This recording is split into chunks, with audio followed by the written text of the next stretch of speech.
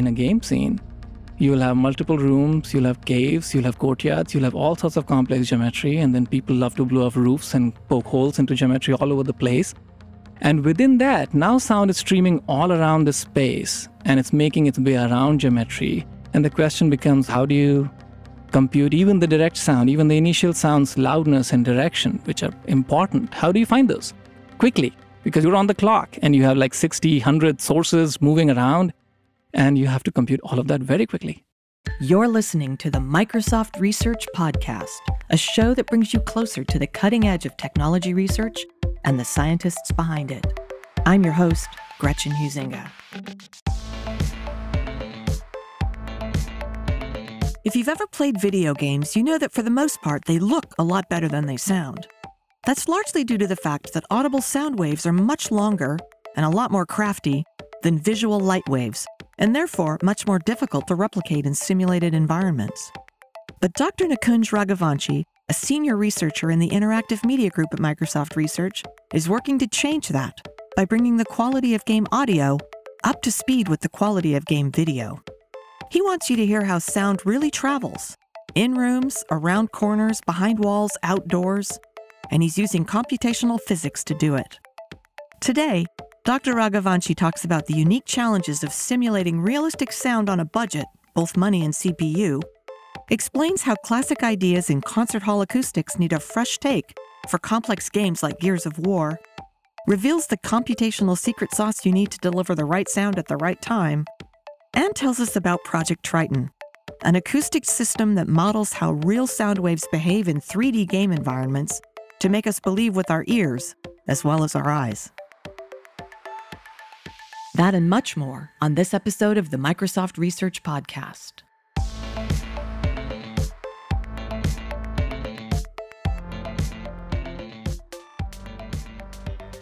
Nikunj welcome to the podcast. I'm glad to be here. You are a senior researcher in MSR's Interactive Media Group, and you situate your research at the intersection of computational acoustics and graphics.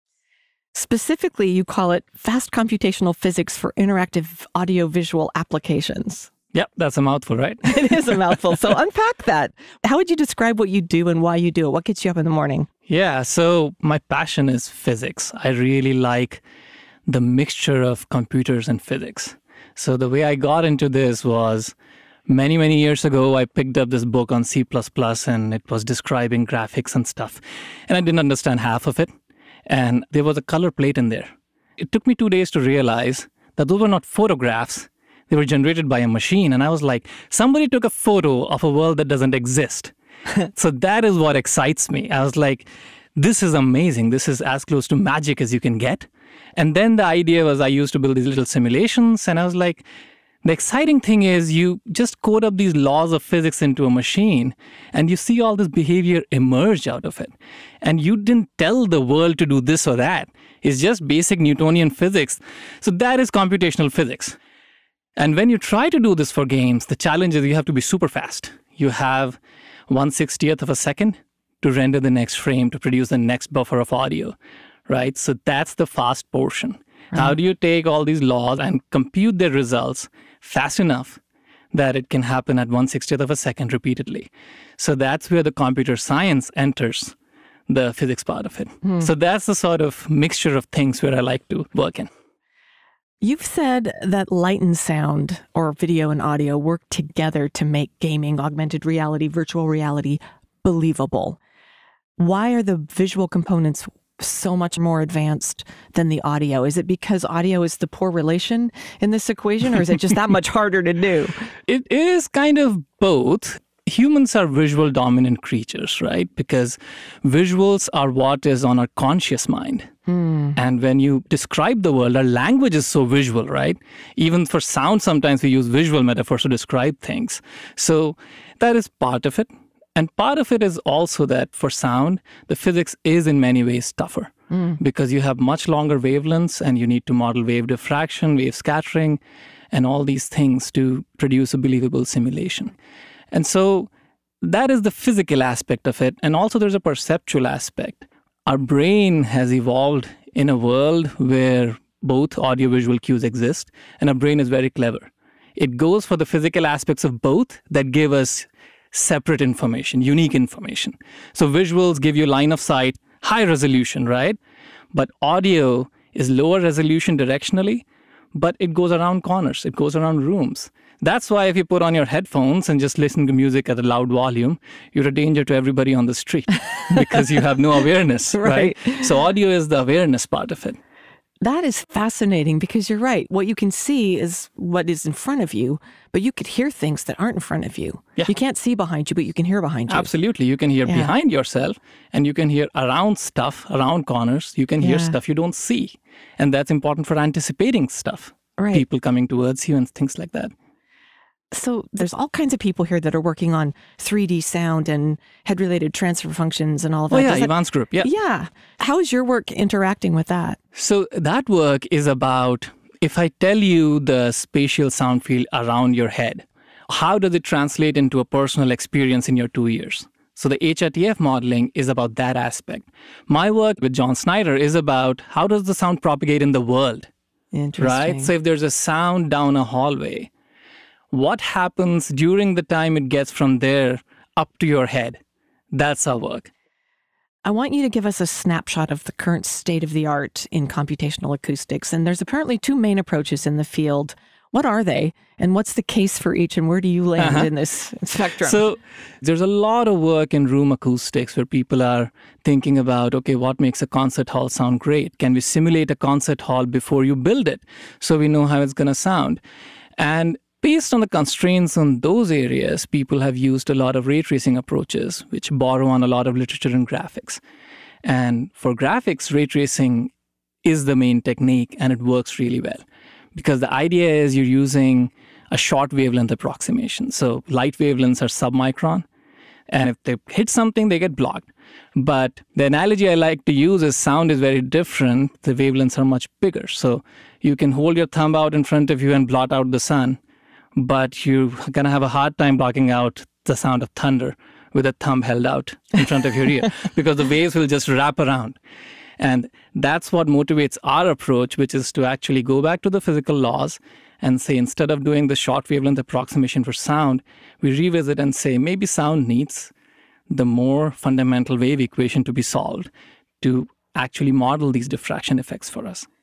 The usual thinking is that in games, you're thinking about we want a certain set of perceptual cues. We want walls to occlude sound. We want a small room to reverberate less. We want a large hall to reverberate more. And the thought is, why are we solving this expensive partial differential equation again? Can't we just find some shortcut to jump straight to the answer instead of going through this long winded route of physics? And our answer has been that you really have to do all the hard work because there's a ton of information that's folded in, and what seems easy to us as humans isn't quite so easy for a computer, and there's no neat trick to get you straight to the perceptual answer you care about.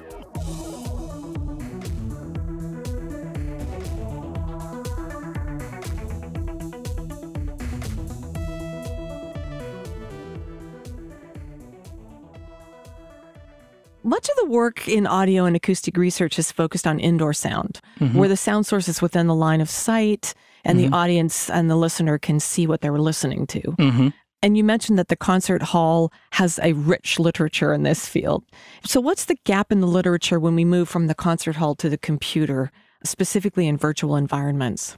Yeah, so games and virtual reality, the key demand they have is the scene is not one room.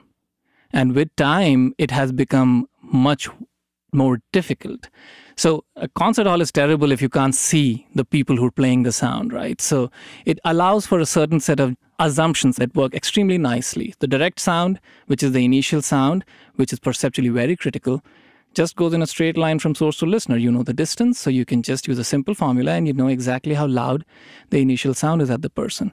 But in a game scene, You'll have multiple rooms, you'll have caves, you'll have courtyards, you'll have all sorts of complex geometry. And then people love to blow off roofs and poke holes into geometry all over the place. And within that, now sound is streaming all around the space and it's making its way around geometry.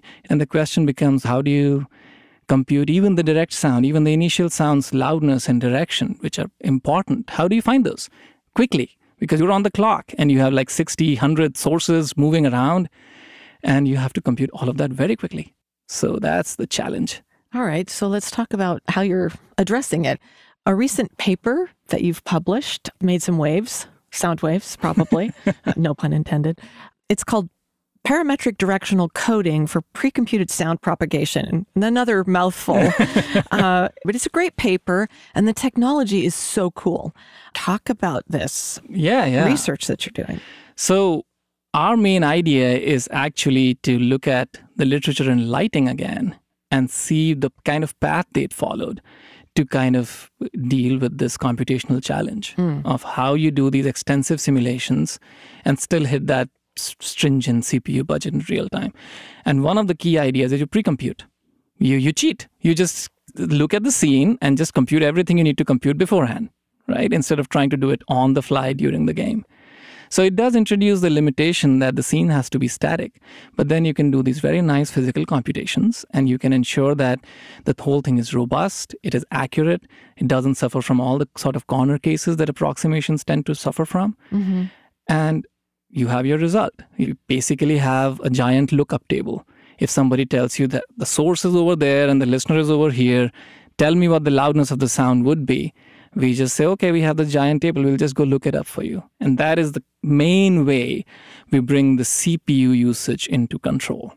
But it generates a knockoff challenge that now we have this huge table, this is huge amount of data that we've stored, and it's six dimensional the source can move in three dimension and the listener can move in three dimensions. So we have this giant table, which is terabytes or even more of data. Yeah. And the game's typical budget is like 100 megabytes.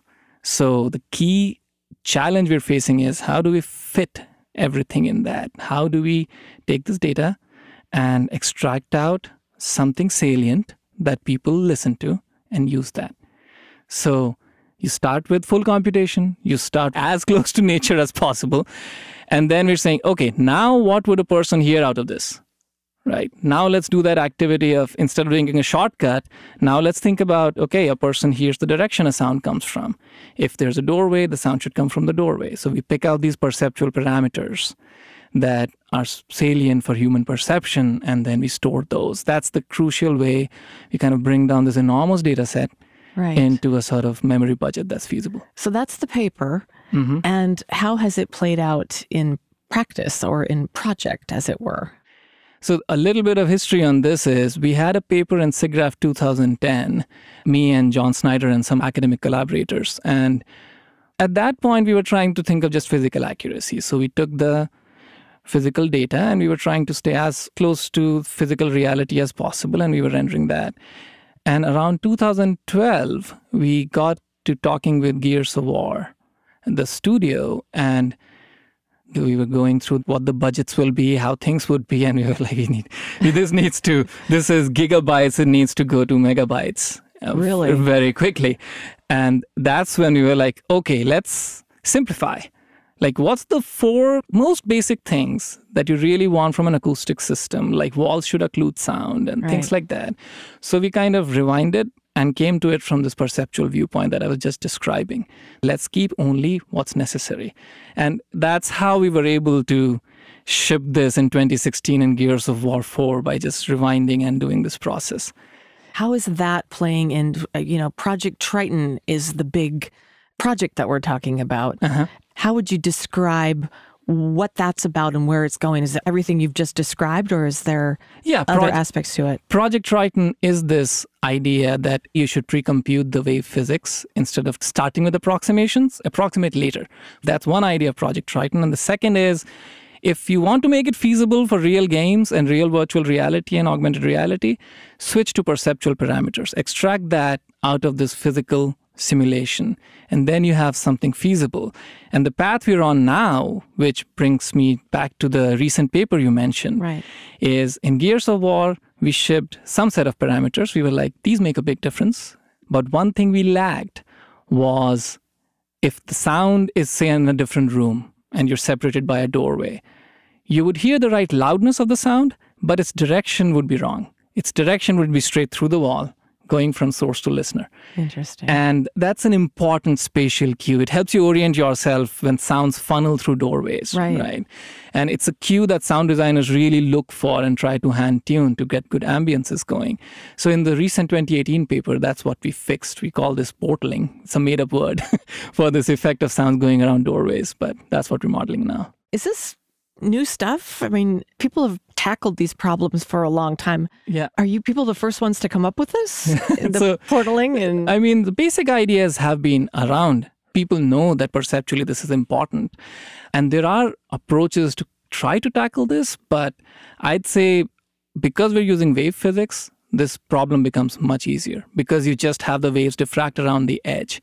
With ray tracing, you face the difficult problem that you have to trace out the rays quote unquote intelligently somehow to hit an edge, which is like hitting a bullseye, right? Right. So the ray can wrap around the edge. So it becomes really difficult. Most practical ray tracing systems don't try to deal with this edge diffraction effect because of that. Although there are academic approaches to it, in practice it becomes difficult. But as I worked on this over the years, I've kind of realized these are the real advantages of this. Disadvantages are pretty clear. It's slow, right? So you have to pre-compute. But we're realizing over time that going to physics has these advantages. but the pre-compute part is innovative in terms of a thought process on how you would accomplish the speed up. I would say there have been papers on pre-computed acoustics academically before, but this realization that mixing pre-computation and extracting these perceptual parameters, that is a recipe that makes a lot of practical sense. Because a third thing that I haven't mentioned yet is going to the perceptual domain. Now the sound designer can make sense of the numbers coming out of this whole system ah. because it's loudness, it's reverberation time, how long the sound is reverberating, and these numbers that are super intuitive to sound designers, they mm-hmm. already deal with them. So now what you're telling them is, hey, you used to start with a blank world which had nothing, right? Like the world before the act of creation, Right. there's nothing. It's just empty space, and you're trying to make things reverberate this way or that. Now you don't need to do that. Now physics will execute first on the actual scene with the actual materials. And then you can say, I don't like what physics did here or there. Let me tweak it. Let me modify what the real result is and make it meet the artistic goals I have for my game.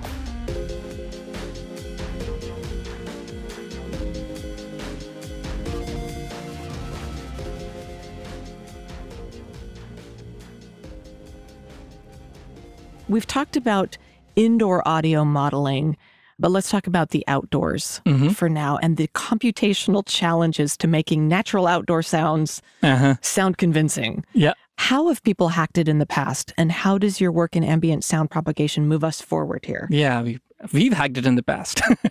okay, this is something we realized on Gears of War because the parameters we used were borrowed again from the concert hall literature. And because they're parameters informed by concert halls, things sound like halls and rooms. Back in the days of Doom, this tech would have been great because it was all indoors and rooms. But in Gears of War, we have these open spaces and it doesn't sound quite right. Outdoor sounds like a huge hall. And, you know, how do we do wind ambiances and rain? That's outdoors.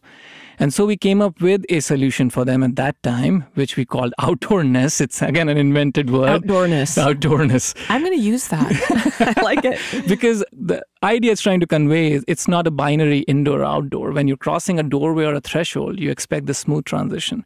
You expect that I'm not hearing rain inside, I'm feeling nice and dry and comfortable, and now I'm walking into the rain. Yeah. And you want the smooth transition on it. So we built a sort of custom tech to do that outdoor transition, but it got us thinking about what's the right way to do this? How do you produce the right spatial impression of there's rain outside, it's coming through a doorway, the doorway is to my left. And as you walk, it spreads all around you. You're standing in the middle of rain now, and it's all around you. So we wanted to create that experience. So the ambient sound propagation work was an intern project, and now we finished it up with our collaborators in Cornell. And that was about how do you model extended sound sources. So again, going back to concert halls, usually people have dealt with point-like sources, which might have a directivity pattern. But rain is like a million little drops. If you try to model each and every drop, that's not going to get you hmm. anywhere. So that's what the paper is about how to treat it as one aggregate that somebody gave us Mm-hmm. and we produce an aggregate sort of energy distribution of that thing along with its directional characteristics and just encode that. And just encode it. Just encode it. How's it working? It looks nice. It sounds good. To my ears, it sounds great. Well, you know, and you're the picky one, I would imagine. It's, yeah, I'm the picky one. And also, when you're doing iterations for a paper, you completely lose objectivity at some point. So you're always looking for others to get Here, some feedback. this. Well, reviewers give good feedback. So, Sure. yeah. Okay. Well, kind of riffing on that, there's another project going on that I'd love for you to talk as much as you can about called Project Acoustics and kind of the future of Oh, yeah. That's where we're going with this. Talk about that. That's really exciting. So, up to now, Project Triton was an internal tech, which we managed to propagate from research into actual Microsoft products internally. Mm-hmm. Project Acoustics is being led by Noel Cross's team in Azure Cognition.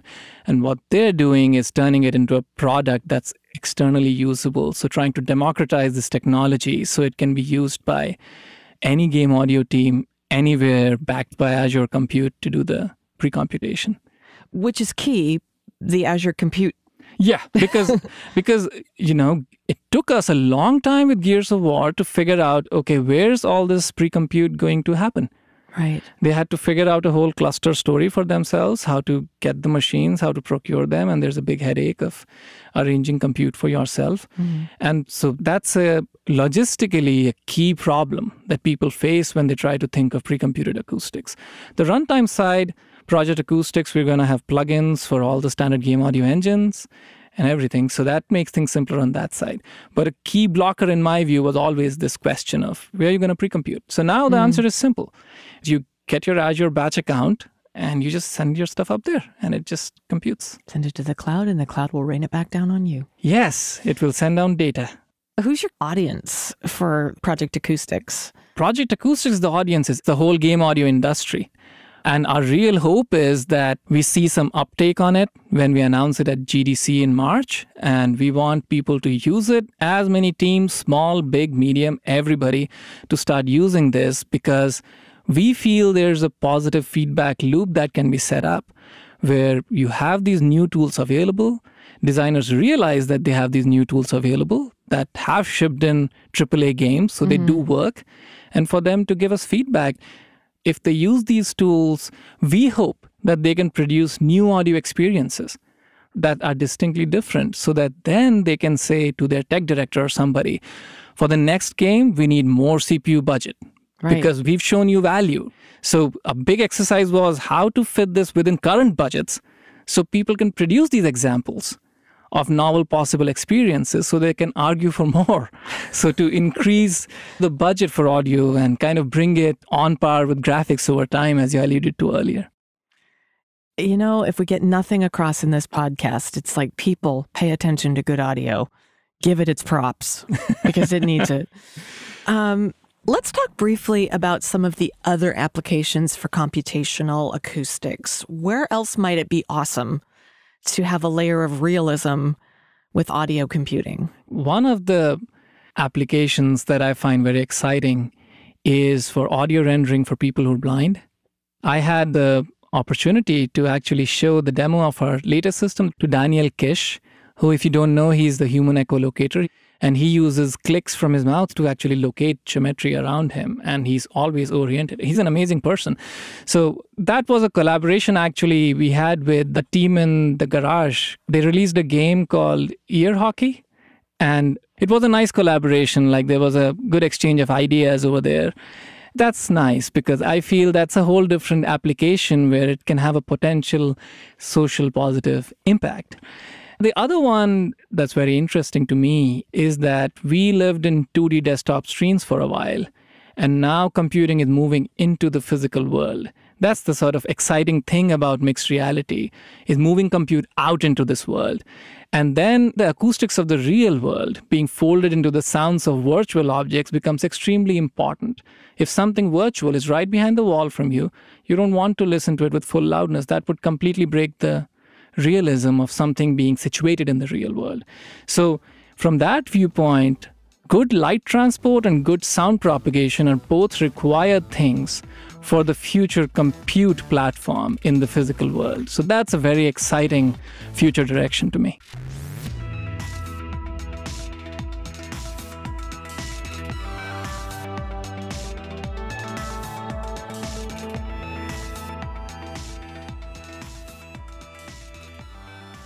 It's about this time in the podcast. I ask all my guests the infamous what keeps you up at night question.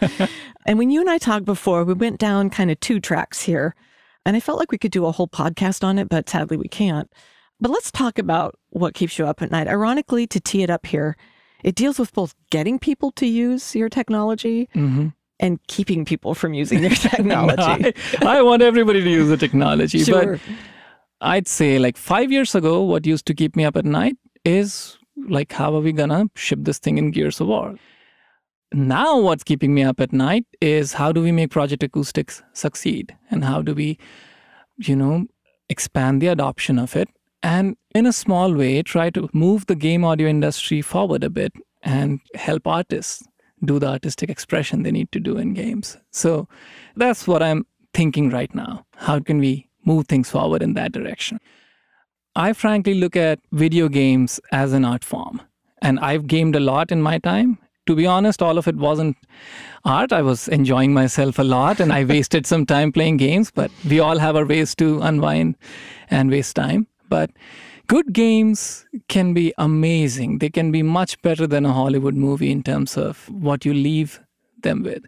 And I just want to contribute in my small way to that giving artists the tools to maybe make the next great story, you know? All right. So let's do talk a little bit though about this idea of you make a really good game. Mm-hmm. Suddenly you've got a lot of people spending a lot of time. I won't say wasting, but we have to address the nature of gaming and the fact that there are, you know, you're upstream of it. You're an artist, you're a, mm-hmm. a technologist, you're a mm-hmm. scientist. Mm-hmm. And it's like, I just want to make this cool stuff. Yeah. Downstream, it's people want people to use it a lot. So, how do you think about that and the responsibilities of a researcher yeah. in this arena? You know, this reminds me of Kurt Vonnegut's book, Cat's Cradle he kind of makes what there's a scientist who makes ice nine and it freezes the whole planet or right? something. so you see uh, things about video games in the news and stuff, but I frankly feel that the kind of games I've participated in making, these games are very social experiences. People meet on the games a lot. Like Sea of Thieves is all about you get a bunch of friends together, you're sitting on the couch together, and you're just going crazy like on these pirate ships and trying to just have fun. Right. So they're not the sort of uh, games where a person is being separated from society by the act of gaming mm-hmm. and just is immersed in a screen and is just not participating in the world. They're the kind of the opposite. So games have all these aspects. And so I personally feel pretty good about the games I've contributed to. I can right. at least say that.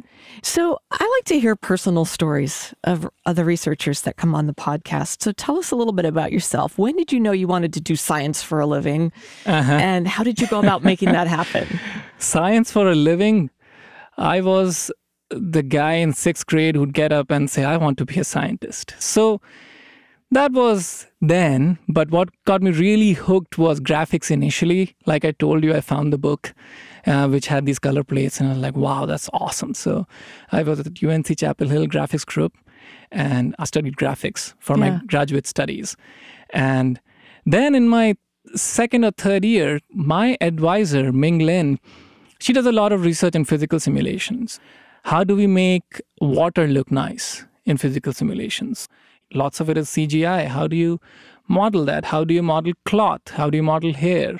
So there's all this physics for that. And so I took a course with her and I was like, you know what? I want to do audio because you get a different sense, right? It's simulation not for visuals, but you get to hear stuff. So I was like, okay, this is cool. This is different. So I did a project with her and I published a paper on sound synthesis. So, like how rigid bodies, like objects rolling and bouncing around and sliding, make sound just from physical equations. And I found a cool technique and I was like, okay, let me do acoustics with this. It's going to be fun. And I'm going to publish another paper in a year. And here I am, still trying to crack that problem of how to do acoustics in spaces. Yeah, but what a place to be. And speaking of that, you have a really interesting story about how you ended up at Microsoft Research and brought your entire PhD code base with you. Yeah, it was it was interesting time. When I was graduating, MSR was my number one choice because I was always thinking of this technology as it would be great if games used this one day. This is the sort of thing that would have a good application in games. And then around that time, I got hired to MSR, and it was a multi core incubation back then. My group was looking at how do these multi core systems enable all sorts of cool new things. And one of the things my hiring manager was looking at was how can we do physically based sound synthesis and propagation. So that's what my PhD was. So they licensed the whole code base and I built on that. you don't see that very often. yeah, it was nice. That's awesome. Well, Nikunj, as we close, I always like to ask guests to give some words of wisdom or advice or encouragement, however it looks to you. What would you say to the next generation of researchers who might want to make sound sound better?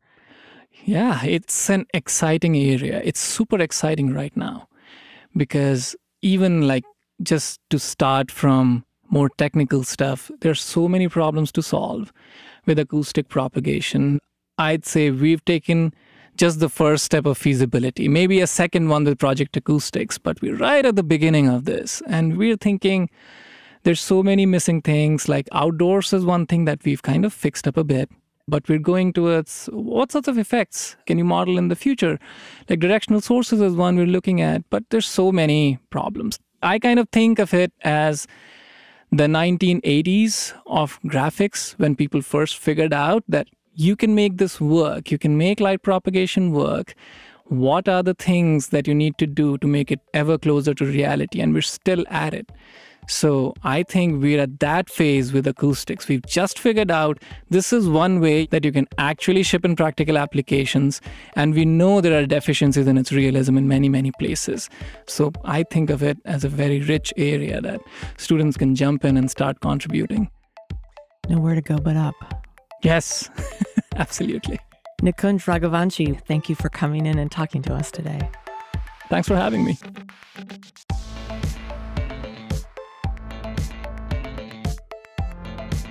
To learn more about Dr. Nikunj Raghuvanshi and the science of sound simulation, visit microsoft.com/research.